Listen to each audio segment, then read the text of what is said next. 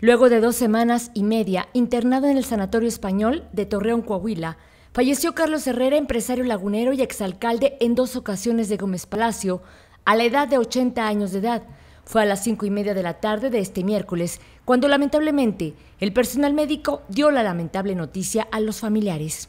Un hombre que se ganó con mucho esfuerzo, trabajo y mucha honestidad, un hombre íntegro, eh, el cariño de propios y de extraños.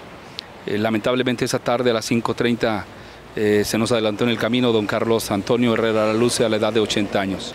Y bueno, pues agradecerle muchísimo a la gente que eh, elevó sus oraciones, a la gente que estuvo cerca, atenta siempre, cerca de la familia.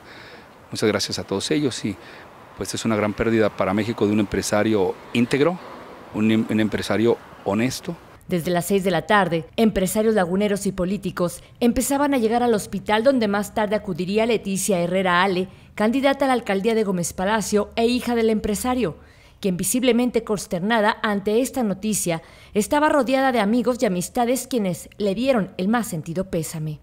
Eh, lástima de que los hombres buenos eh, se tienen que alejar de, nosotros.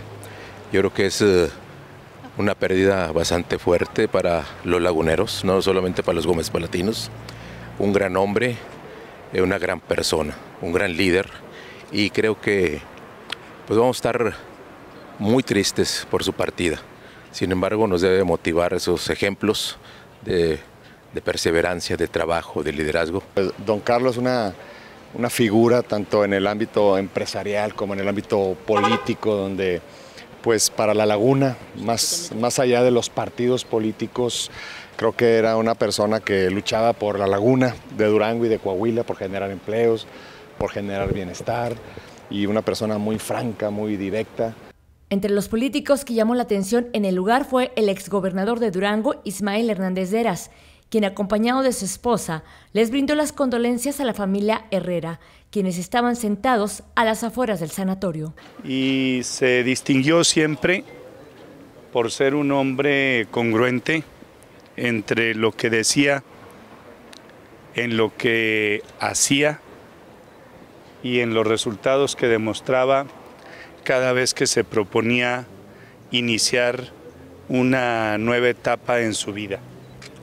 Don Carlos, eh, en su legado, creo que provoca que estemos eh, en todo lo que él deja para darle a la laguna, a su familia, al PRI, a la actividad política en general, porque él estaba por encima siempre de las circunstancias más allá de lo personal, siempre habló por la laguna. Se tiene conocimiento de forma extraoficial que el cuerpo del empresario lechero Carlos Herrera será velado en una de las funerarias de la zona centro de Gómez Palacio durante este jueves. Con imágenes de Carlos Machado, informó para Tiempo y Espacio Sandra Gómez.